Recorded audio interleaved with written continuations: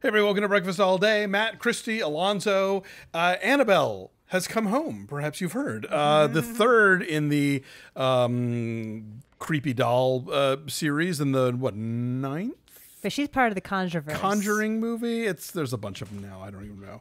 So uh, you want to tackle this? I'll do it. Fine. So I went and saw this by myself at the Regal Theater in Rolling Hills, where I was like the only person for a long time, and all the seats recline. They're all very cushy. So I was very comfortable to be tense and scared. Um, Nick, stop looking at me. You don't want to hear about Annabelle. I know you're scared of the, the idea of the doll. My kid's like watching me do this. anyway, so um, at the beginning, we, we see how it is that Vera Farmiga and Patrick Wilson get the Annabelle doll. We see them recognize how deeply inherently evil it is. We see them put Annabelle into a glass case, which then gets blessed by a Catholic priest, along with all the other stuff in the creepy room full of creepy stuff.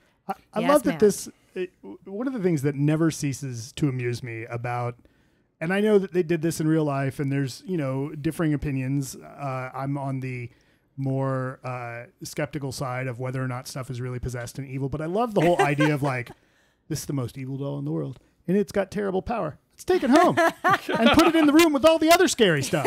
well, like, It's a very safe room. There's lots, That's- lots of deadbolts. It's going to be okay. but- yeah, but like but in uh, mo- but in movies like this, Catholicism is always a superpower. You Right. know? like, like, yeah, like if Oh, they, it totally is. If they did magic spells and runes, whatever, you might not buy it. But boy, trot a priest out with some holy water and some Latin, and like, oh yes, of course, that's going to keep the devil at Yes. bay. Well, I mean, Vera Farmiga even says the evil has been contained. and Yeah. there's even a crawl at the beginning that says that like the the room contains so much evil that they have to have it blessed every week. Every week, 52 times But here's a year. the thing, like amongst the issues, I mean, look, I like this movie. It's super scary. Granted, you know, I did my usual thing for a schlocky horror movie. Went in with three or four cocktails and it made Three or this movie. four.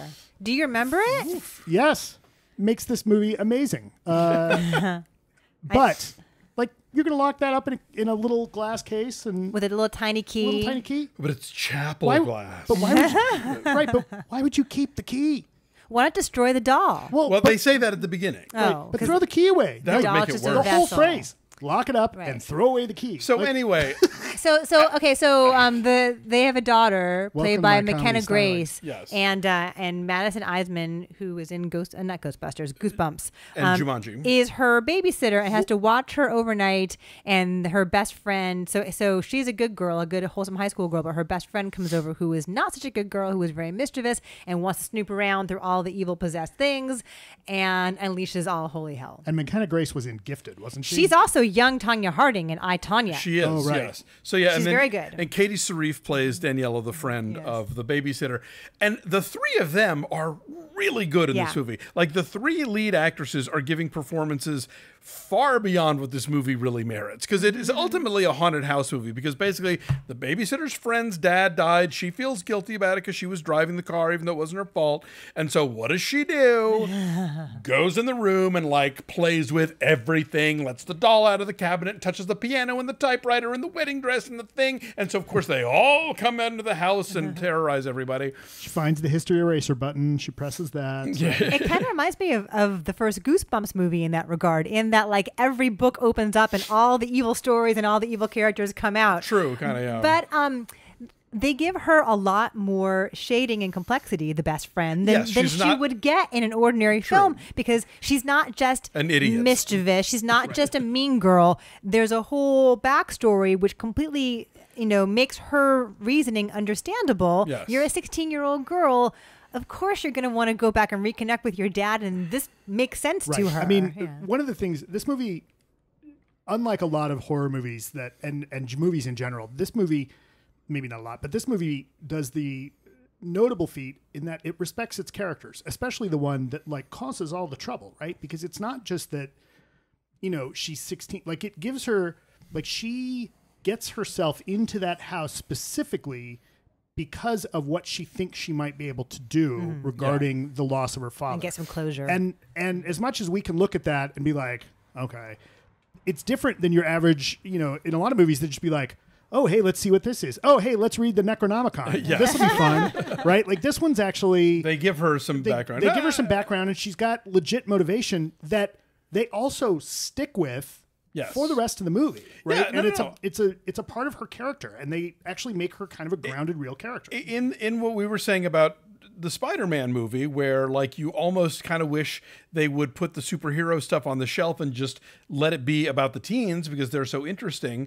I would have been much more interested to see a movie about like the young girl and how like her her friends shun her because everybody thinks her parents are doing weird spooky shit. Mm-hmm. And this girl who's dealing with the death of her father and you know I, I was more interested in that than I was in all the well, you the movie Having about the girl dealing with the grief of losing her parents this week is Midsummer. Midsummer, yeah. Oh well, That's yeah, the there you extreme go. version. we That's have true. that. But yeah, McKenna Grace is really good, and there's great subtlety to her. Yeah. and uh, and she is she can also see dead people. And Mm-hmm. and you f- see the toll that takes on her as a kid. You know, the power is not cool. Right. She, she's She'd burdened. not. Uh, She's burdened by it at an age. she's like a tween. Like she's, it's an awful age anyway. Yeah. Plus, she can see dead people. There's a hunky high school boy played by an actor named Michael Cimino. I thought that was so funny. I'm like, not the director of Heaven's Gate, um, who kind of pops up conveniently in the in the story as it goes along. Like like there are parts where he's hiding from a horrible thing. But then suddenly he's there at exactly the right moment. It's like, wait, you were hiding. Why are you now here? Like the movie just sort of throws him in where they need him. you Right, know? and his He's nickname, it's like, did they pull his nickname out of some script for some other dumb teen movie? yeah. Well, it is kind of like a, a really spooky version of Adventures in Babysitting, right? it's like a really haunted, evil So this is version. Nightmares in Babysitting. it is. I like it. It is. I mean, because you know anything can go wrong when your parents are at, town, and it usually does. So yeah, no, th- it's fun. It's there are legitimately tense moments here. Um, I was thinking about weird science actually, like, where, like everything was going to undo itself at the end of the movie. you know? either it's a John Hughes movie, Kinda. but like with a, with a creepy doll. Uh, But again, and- not to and- keep and- going back to the silliness of the room, but you know, like this is a movie that, for the most part, is consistent in the rules it sets out. But when you start thinking about it, like one of the things I was thinking later is like, okay, if you're the Warrens, like, do you not know what teenagers are capable of? Like, why would you leave the house?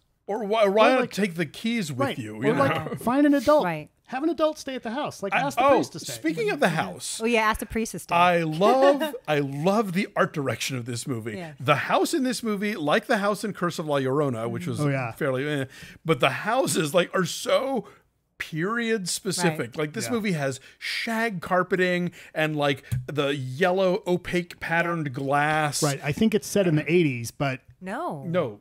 This is set. It's th- definitely the, the 70s. early seventies. Like 'Cause the, they're Oh, playing 71, Badfinger on the on the record Right. yeah, and then in the 71, but- newspaper, there's a mention right. of Ron Ziegler. Right, you're right. It's it's set in the early 70s, but the decor is like some of it's you know even period from like the 60s. Like Yes. it's that you know the stuff that would be in a house Yeah. that had been in.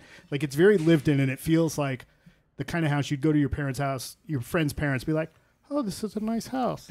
Yeah, it's like one of the. It's like like you're on Swingtown all of a sudden. In this It's thing. a split great. level house with Yeah. shag carpeting, and it makes sense architecturally, Yes. It does, yes, right? but- like but- if you're following where the hallways are and where the Yeah. bedrooms are in relation to like the front yard and up, up on top of each other. And I love that there's a possessed board game that escapes from the room. Although sadly, it's not a real board game. I looked it up. Oh. Um, but it, but I just just conceptually, I love that idea. yeah, and and that's one of the cool little details because you know when they open that board game, you know what it's going to be. Oh yeah, yeah, I mean, I want someone to make that game. Yeah, it's a cool idea. I'm surprised that they haven't sent them out to, to you know critics as as swag. Oh, they should have. Warner Brothers, you missed a, an opportunity here. We all want a feely wheelie game. it's fun. It's scary.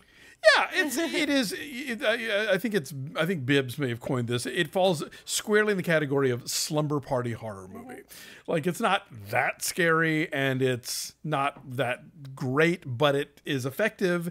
And yeah, it, it- you know the, the the again the performances are really good. Not a lot of you know they're selling this as being you know uh, part of the conjuring but like patrick wilson and uh, vera farmiga are pretty much gone after the first 10 minutes and then they're in the last three Right. It was like what two or three shoot days for them, maybe. yeah totally Um, my number's a six. I, what did i say You said, I'm sorry, you said six. I said Six. six point two. okay I said six and a half. All right, so The our booze number's a helped. six point two. Is it six point two? Yeah, Sure. that works. Um, it's a sixty-eight percent on the tomato meter, and this came out on Wednesday, so you can go Yes. and see it whenever, wherever, indeed it is it is in theaters now in broad daylight. I En- recommend. enjoy won't you Thanks for watching. Like this video, subscribe to our YouTube channel, follow us at bfastallday on Twitter, Instagram, and Facebook, and uh, check out our Patreon page at patreon.com slash bfastallday. It's where we do our TV recaps and movie news and trailer reviews and uh, the occasional review of an old movie that uh, Patreon uh, members get to pick. So if you've already joined us, we appreciate it. Thank you for that. And if you haven't, uh, go look and maybe you'll want to be part of our fun time club. Catch you next time. Bye.